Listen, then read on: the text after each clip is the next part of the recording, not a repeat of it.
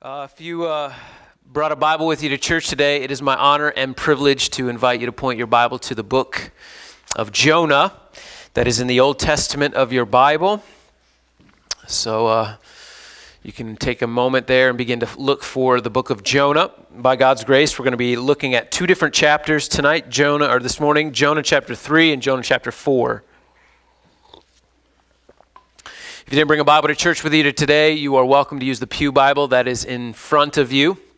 It'll be on page 775 of the Pew Bible. We're going to read uh, these two chapters, and then uh, I'm going to pray. We'll save some time at the end for, for reflection and repentance. Should be 45 minutes or so. Good to have you all. Let's uh, go ahead and begin reading Jonah chapter 3.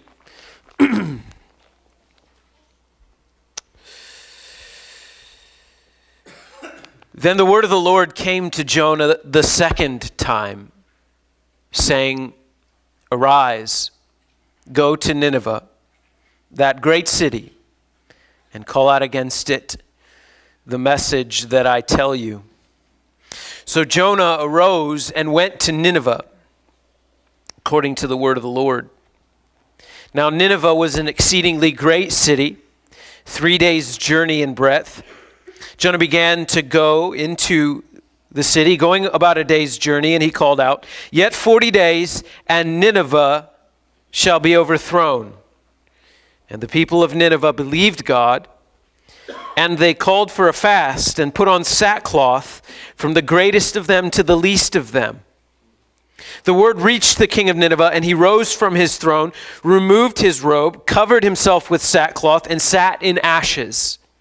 And he issued a proclamation and published through Nineveh by the decree of the king and his nobles let neither man nor beast, herd nor flock taste anything. Let them not feed or drink water, but let man and beast be covered with sackcloth, and let them call out mightily to God. Let everyone turn from his evil way and from the violence that is in his hands.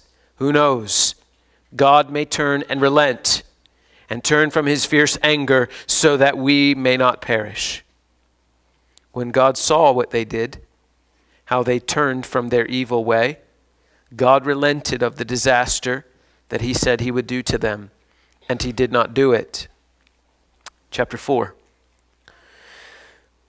But it displeased Jonah exceedingly, and he was angry. And he prayed to the Lord and said, Oh Lord, is this what, what I said when I was yet in my country? This is why I made haste to flee to Tarshish, for I knew that you are a gracious God and merciful, slow to anger and abounding in steadfast love, and relenting from disaster. Therefore, now, O Lord, please take my life from me for it is better for me to die than to live. And the Lord said, Do you do well to be angry? Jonah went out of the city and sat to the east of the city and made a booth for himself there. He sat under it in the shade till he could see what would become of the city. Now the Lord God appointed a plant, made it come up over Jonah that it might be a shade over his head to save him from his discomfort. So Jonah was exceedingly glad because of the plant. But when dawn came up the next day, God appointed a worm that attacked the plant so that it withered. When the sun rose, God when the sun rose, God appointed a scorching east wind, and the sun beat down on the head of Jonah so that he was faint. And he asked that he might die, and said, It is better for me to die than to live. But God said to Jonah, Do you do well to be angry for the plant? And he said, Yes, I do well to be angry. Angry enough to die. And the Lord said, You pity the plant for which you did not labor, nor did you make it grow, which came into being in a night and perished in a night. And should not I pity Nineveh, that great city, in which there are more than 120,000 persons who do not know their right hand from their left, and also so much cattle. Let's pray.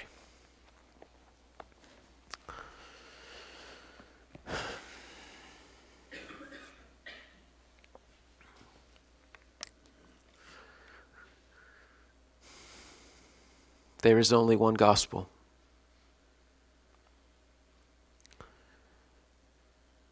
So, Father, would you preach that one gospel this morning?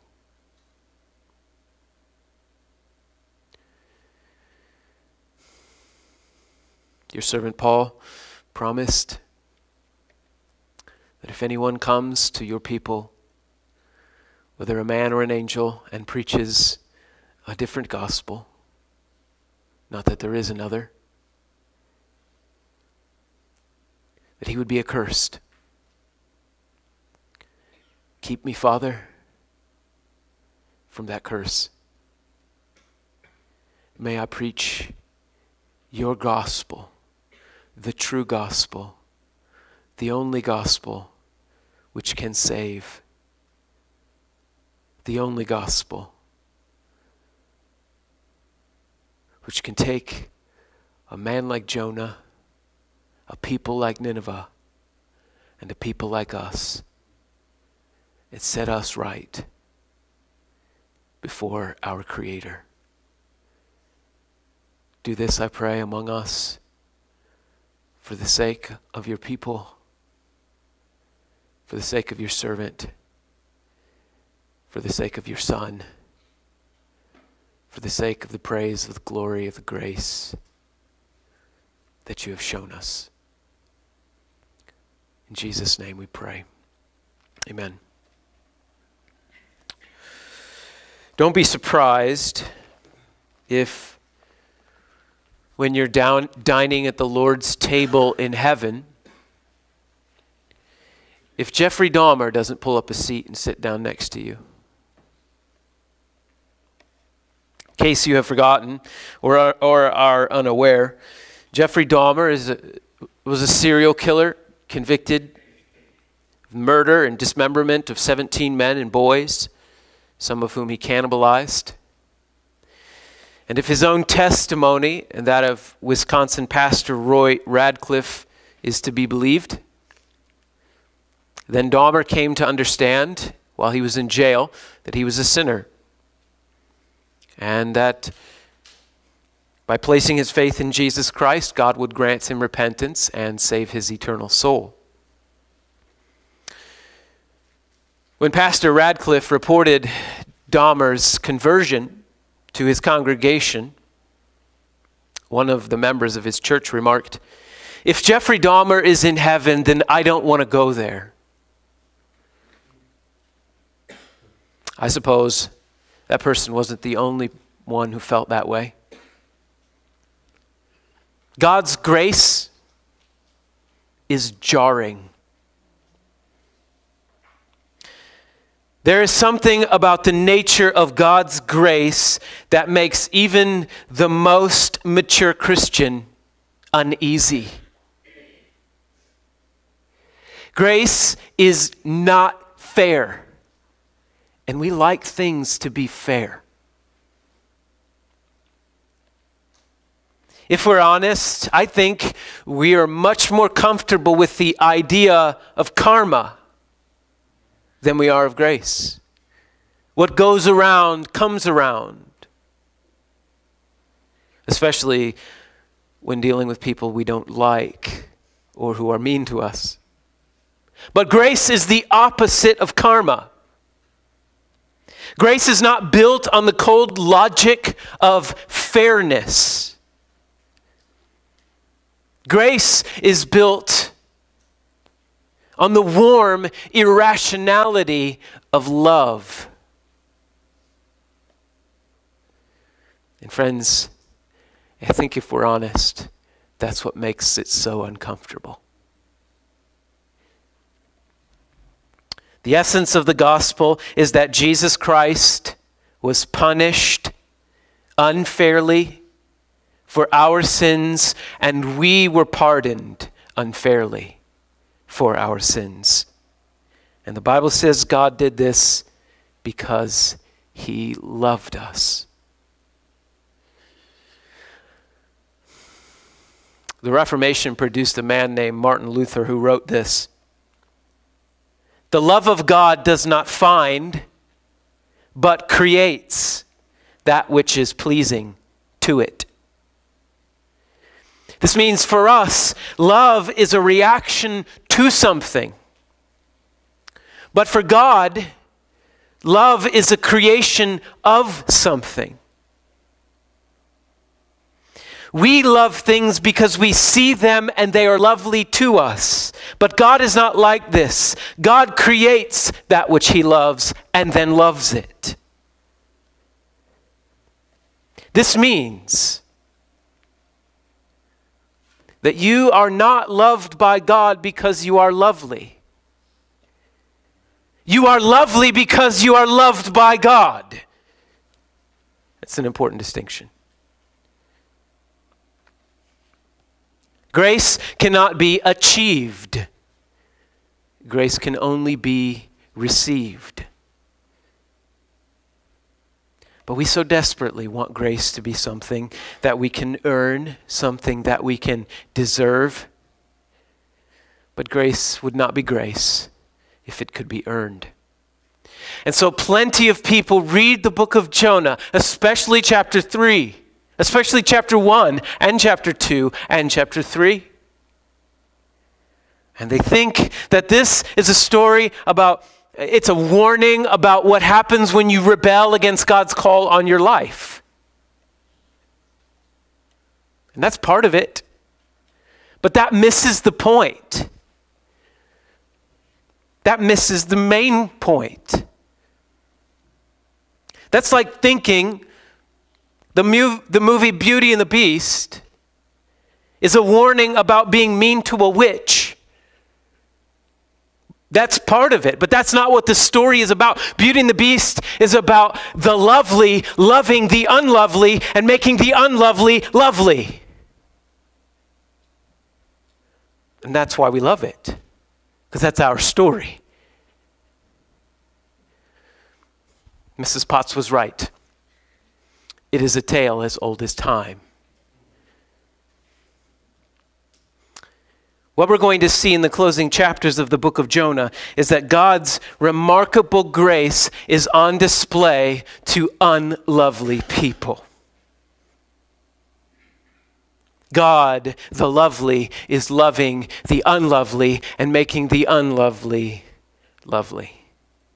We're going to look at this from three angles this morning. We're going to look at God's remarkable grace toward the people of Nineveh. Then we're going to look at it as, as God's remarkable grace to the person of Jonah. And then we're going to look at it as God's remarkable grace to the people of Cornerstone Piqua. So that's my introduction. But before we get deeply into chapter 3, which is where God shows his love to the people of Nineveh, I want to set Jonah within the, the framework of, of, of the entire narrative of the Old Testament. It will only take me a moment or two. I want to show you where Jonah fits within. It's important, I think, when, when, before we read chapter 3, to see where Jonah fits within God's overarching plan for the world in, in general, but also for the people of Israel in particular. So, a couple of minutes to see where Jonah fits into God's redemptive plan the Old Testament follows um, what smart people call redemptive historical narrative. It's a lot of big words. I graduated from Botkin, so big words anger me. But smart people use words like that to help us to understand where God's plan is and, and what God is doing. So it's just kind of a big overarching thing. I call it God's goal because I like small words that make sense to me. What is God's goal? What is God's mission? What is God doing in the earth in the Old Testament? God's goal, we learn, is to bring praise to the glory of His grace. God created the world and everything in it to show off the glory of His grace.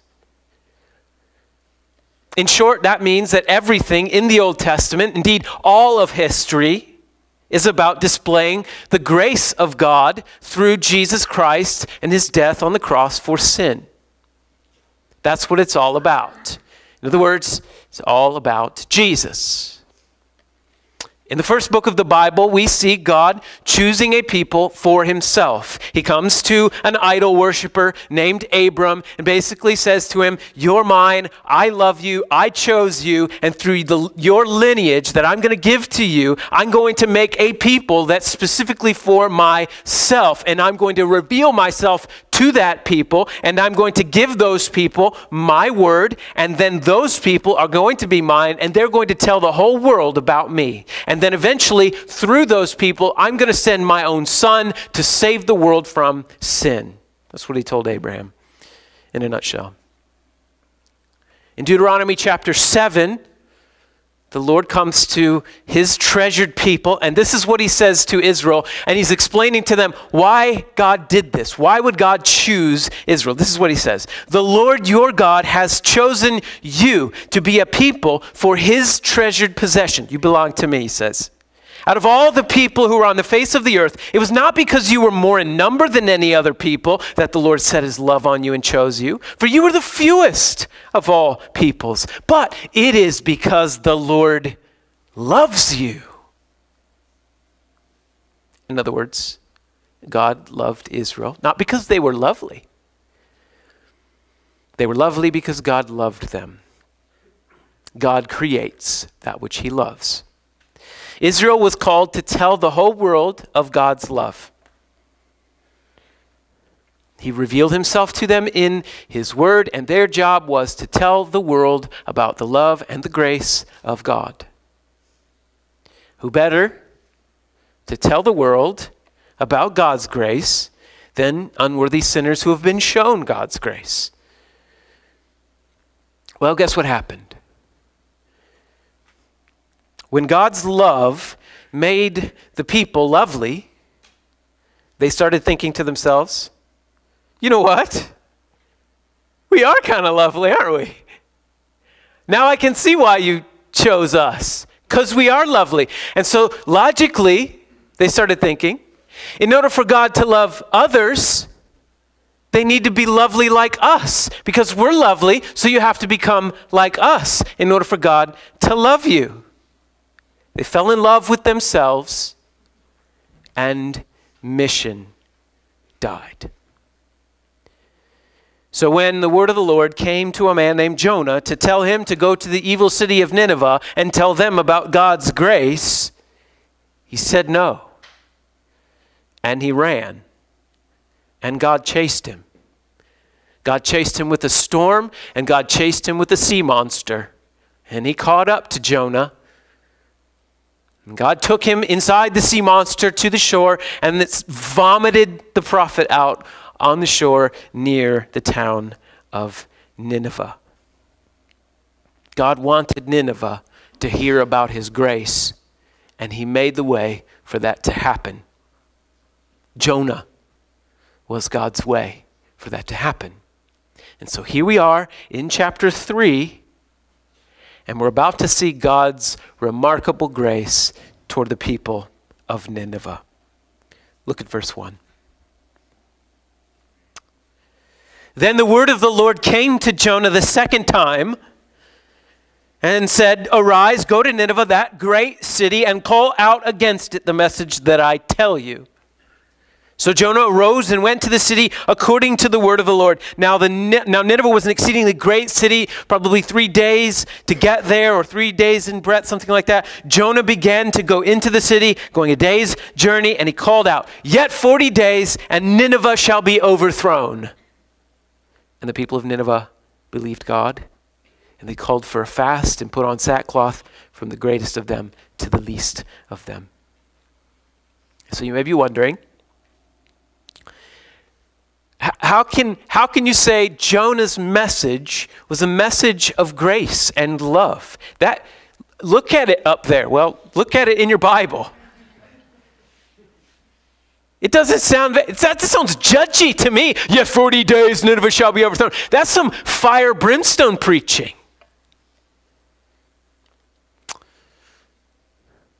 It is fire brimstone preaching. But fire and brimstone preaching is loving preaching, so long as there is such a thing as fire and brimstone. When the National Weather Service issues a warning to leave a coastal town because a hurricane is coming, that's mercy. That's grace. That's loving. That's what Jonah's doing.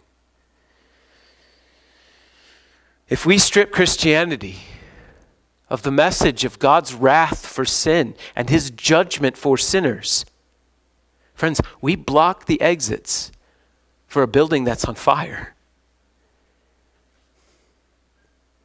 God is sending Jonah, Jonah to Nineveh with a message. In 40 days, y'all are going to die, and that is a message of mercy and grace.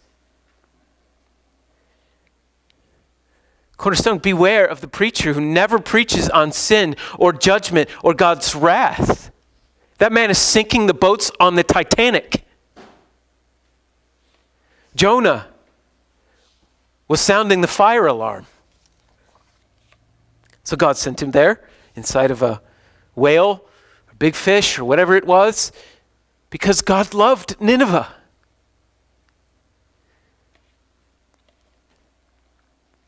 God pursued that rebellious prophet. Not only for his sake, but for the sake of the 120,000 people that were in Nineveh. They were headed for hell. And Jonah went to tell them how to escape.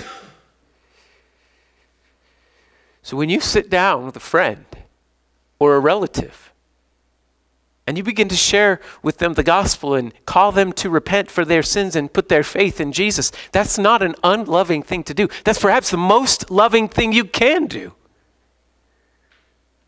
If your brother is hungry, feed him, of course. Take care of his needs. But if we don't preach the gospel while we're feeding our brother, then we're just sending him with a full belly into hell. So Jonah preached grace. And look what the Ninevites did in verse 5. They believed God and repented. They fasted, they put on sackcloth, which was an ancient way of showing remorse. Even the king of Nineveh repented. Look at verse 6. The king, an evil pagan king, rose from his throne, removed his king robes, covered himself with sackcloth, and sat in ashes, and then issued a proclamation for his people to do the same. The pagan king turned to God and, and told his people to do the same through the preaching of the prophet Jonah. And then, verse 10 this is what your God did for the Ninevites. God saw what they did how they turned from their evil way. And God relented of the disaster that He said He would do to them. And He did not do it. God showed grace to the evil people of Nineveh, and 120,000 souls were spared by God's grace alone. That's 120,000 people. That's more people than live in all of Miami County saved by the preaching of Jonah through the grace of God alone. So, follow how this happened. God sent the word to Jonah, and Jonah ran, and God chased after his running prophet, and God brought that reluctant prophet to Nineveh anyway. And Jonah spoke the word of God to the Ninevites, and the word of God brought forth faith in the Ninevites, and they, they believed in God, and faith ignited prayer and repentance in this evil people who had no prior interest in God whatsoever up to this point, what exactly did Nineveh do to deserve God's grace? Nothing. They just kept on in their evil ways. And God sent them his prophet. It was all by grace alone. Jonah chapter 3, by the way, is what revival looks like. 120,000 people in repentance because of the preaching of the Bible. God sends His word, exposes sin, and His word brings forth faith.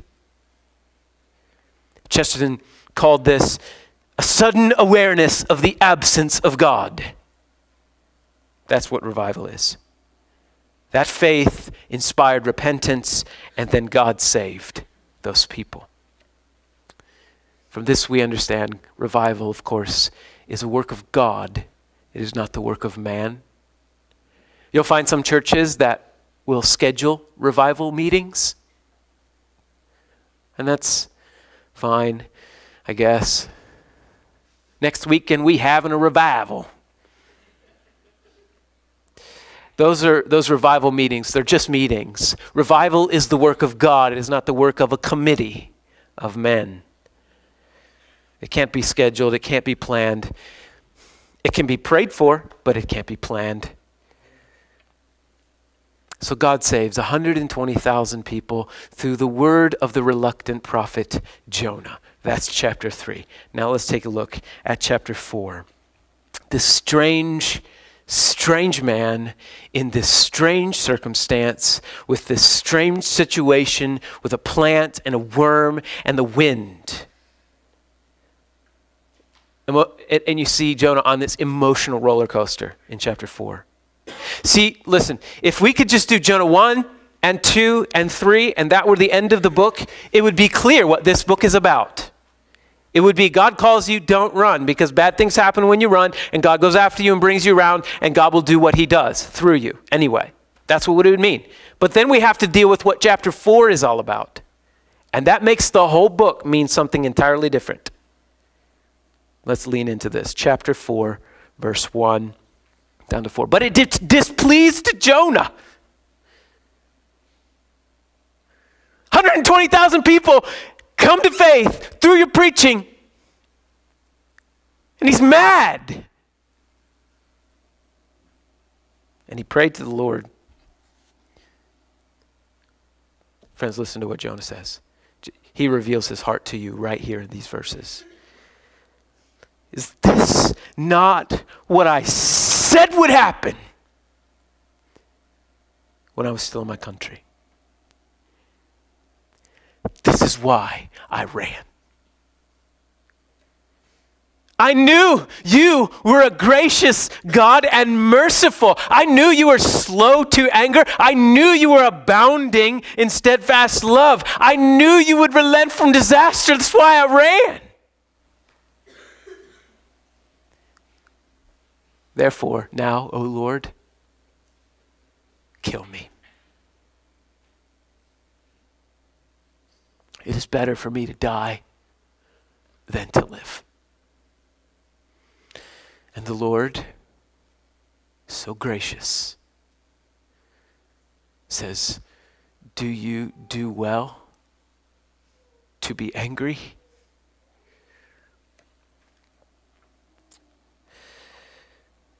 The reason Jonah ran, of course, is because Jonah didn't want Nineveh to experience what does he call it? The mercy of God, the grace of God, the patience of God, the steadfast love of God, the forgiveness of God. He didn't want them to have that. I knew you would forgive them. I knew you would relent. It's just like you. Jonah's hatred towards his enemies was so great that it caused him to resent the very nature of his God. Jonah would rather die than see God mercy on his enemies. So when Jonah came into contact with the true grace of God, it made him exceedingly mad.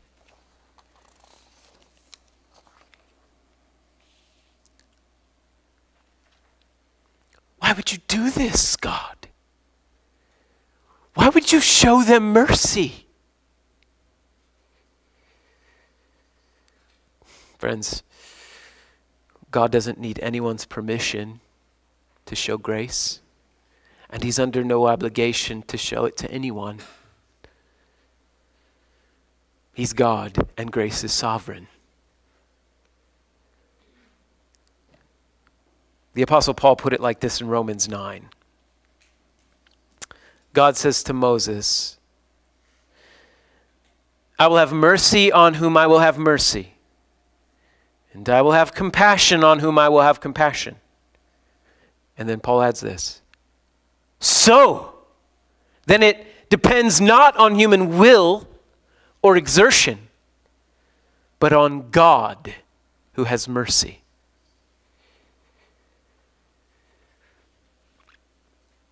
Oh, how Jonah wished the grace of God had something to do with his will or his human exertion. Then he would have reason to boast in himself. Then he would have reason to feel that he's more deserving of God's grace than those wicked Ninevites. Then it would make sense why God came to Abram then he would have reason to feel that he's smarter than idol worshippers because he chose God. Oh, but grace denies us that feeling. Salvation is by grace alone. And so the Lord asks, Do you do well to be angry? I want you to see that God is being gracious to this fool, drawing him out. See how God is, is causing Jonah to turn and look at his own heart. It's as if God is saying, Jonah, are you hearing what you're saying? Can you hear yourself?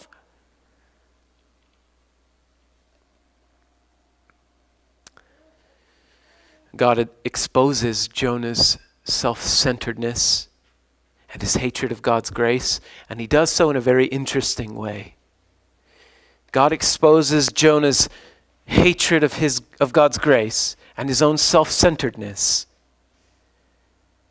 He exposes it with blessing and with comfort.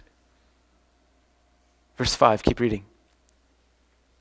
Jonah went out of the city, he sat down in the east of the city, and he made a booth for himself. It's a coat. It's the same, same, same word in, in Hebrew, a coat. He, he sat under it in the shade till he could see what would become of the city. Now the Lord God appointed a plant and made it come up over Jonah so that it would shade him, save him from the discomfort of the hot sun.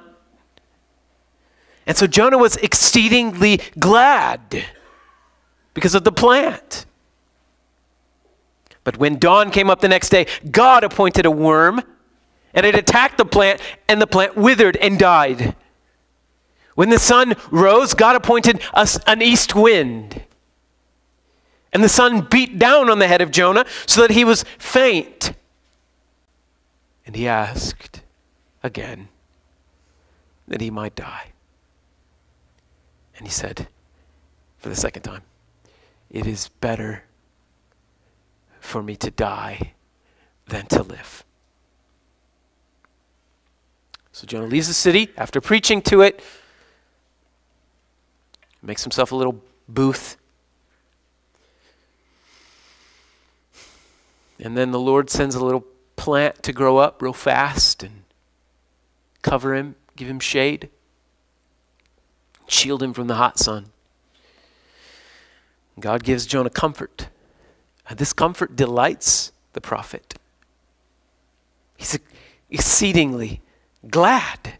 Just a few verses ago, he was exceedingly mad, but now he's exceedingly glad. And then, then God does this strange thing God sends a worm to kill the plant that was the source of Jonah's comfort and happiness. Plant dies. Sun's out. And God sends a really mean wind, beats on Jonah. He's faint. And so, for the second time, he asks God to kill him. This man is a roller coaster of emotions. Verse 9. But God said to Jonah, Do you do well to be angry for the plant? And he said, Yes, I do well. I have every reason to be mad. Mad enough to die, he says. And the Lord said, You pity the plant for which you did not labor, nor did you make it grow, which came into being in a night and perished in a night. And God has the last word in this book, and He says, And should I not pity Nineveh, that great city? In which there are more than 120,000 persons who do not know the right hand from their left, and also much cattle. Jonah cared more for the shade from the sun than he did for the sinners that God saved. Jonah mourned the loss of a plant, but he would not rejoice over God's grace to 120,000 people. Jonah's temporary comforts were more important to him than the eternal destiny of the Ninevites. What a pitiful sight.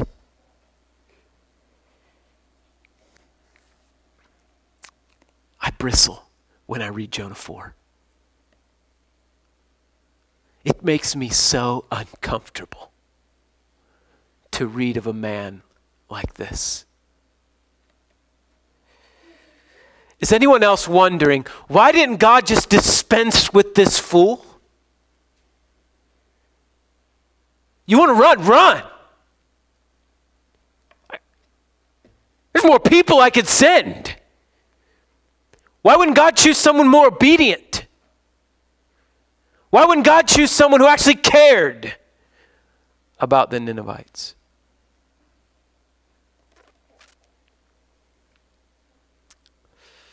And the reason is because God is a God of remarkable grace. Why was God so patient with Jonah? It should make us wonder why is God so patient with me?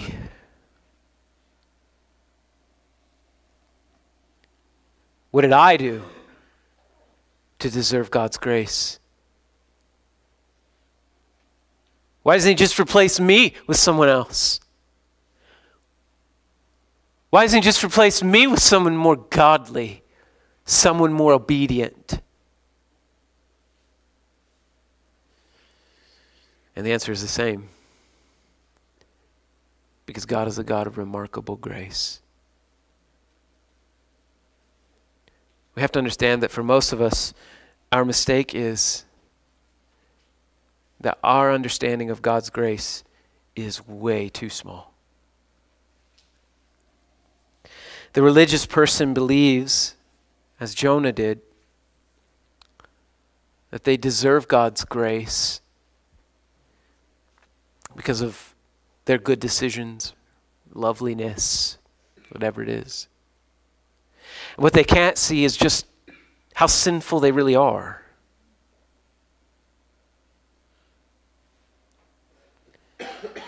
But you know, the irreligious person makes the same miscalculation. They can't see how sinful they really are. Both believe that they're better off than they actually are. Both are wrong, and grace is bigger than both. And this is what this little book has to do with us.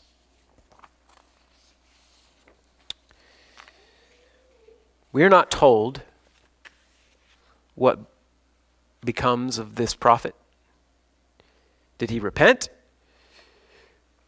Did he die there under the sun outside of Nineveh? We're not told anything further about Jonah. And the reason is because that's not the point of the book. This book is meant for us to read it and to look upward, not just to see Jonah, but to see the greater Jonah. Jesus Christ. When Jesus was walking on the earth, religious people came to him and they asked him for a sign to prove that he was the Son of God. And in Matthew chapter 12, this is what the Lord Jesus gave as his sign. An evil and adulterous generation seeks for a sign, but no sign will be given to it except the sign of the prophet Jonah. For just as Jonah was three days, three nights in the belly of the great fish, so will the Son of Man be three days and three nights in the heart of the earth. See, God sent Jonah into the belly of the fish for three days and nights. And he came out of that fish and he preached to the Ninevites. That was God's grace to them. And God sent Jesus into the belly of the earth for three days and nights. And he came up out of the grave and he preached to us. And that is God's grace to us. See, this little book shows us that our lives are so much bigger than we've ever thought. Means, like Abram, God chose you based on nothing you did, and He gave you His plans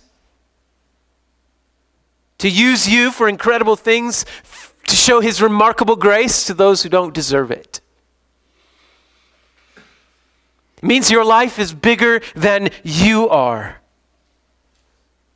And so, as we finish up this series in the book of Jonah, I want you to sit with this man.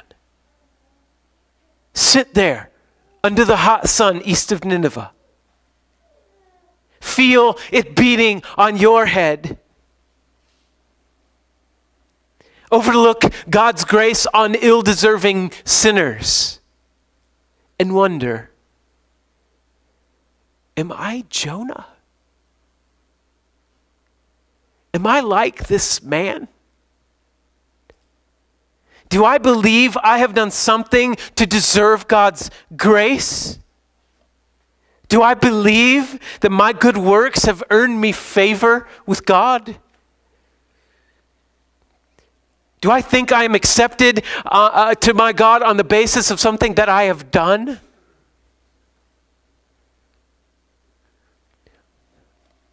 Why would I gladly accept a place at the, Lord's table in heaven and bristle at the thought of Jeffrey Dahmer sitting next to me? Is my life so vine centered? As his was. And then hear God ask you under that hot sun, Do you do well? When you're despondent over the loss of some luxury or some comfort, while nearly 70,000 souls in Miami County alone are dying without Christ. We are meant to feel these questions the Lord asks the prophet. We're meant to see that our vine centered, self centered, tiny little Christianity exposes complete misunderstanding of the size of God's grace.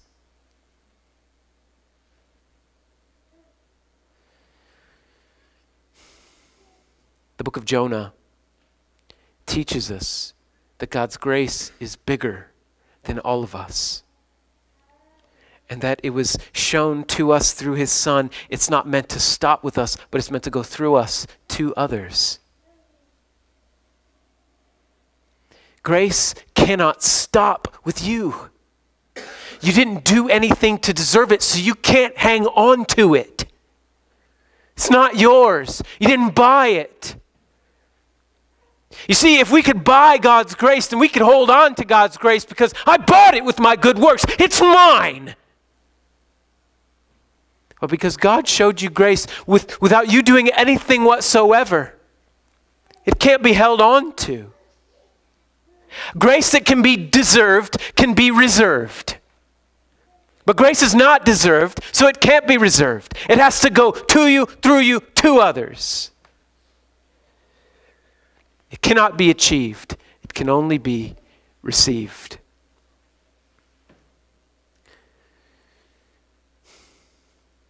So, while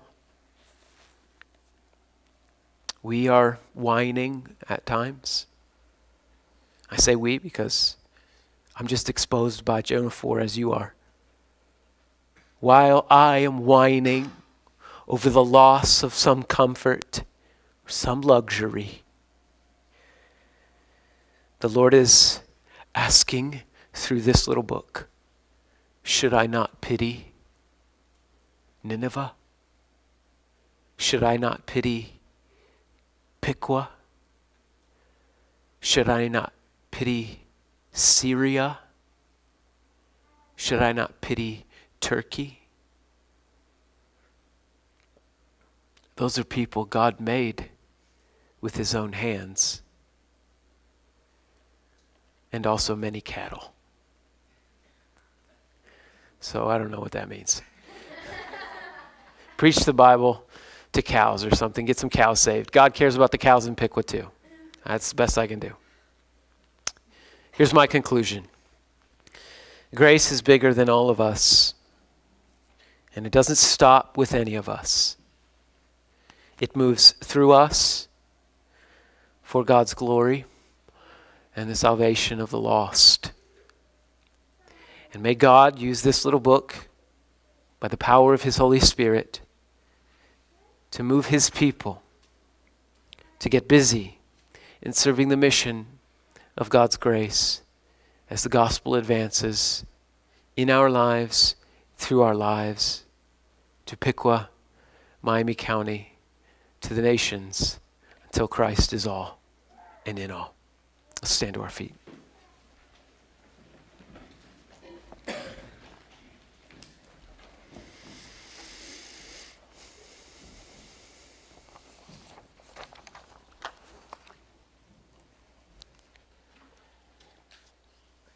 We're going to sing another song.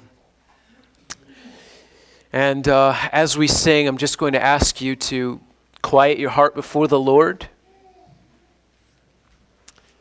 sit with the prophet Jonah and ask the Holy Spirit to expose Jonah likeness in your heart. Is there some comfort or luxury that you're unwilling to lose for the sake of the lost and the advance of the gospel? Is there something in you that demands grace have a price? And if so, confess those things before the Lord, and He will forgive you of those sins. Father, thank you for this word. Thank you for the life lesson of this prophet. Lord, I pray that you would expose the Jonah likeness in our hearts. The love of self more than the love of sinners. the insistence that people get what's coming to them, even though we will never get what was coming to us. Father, expose Jonah in us today and give us grace to repent. In Jesus' name I pray.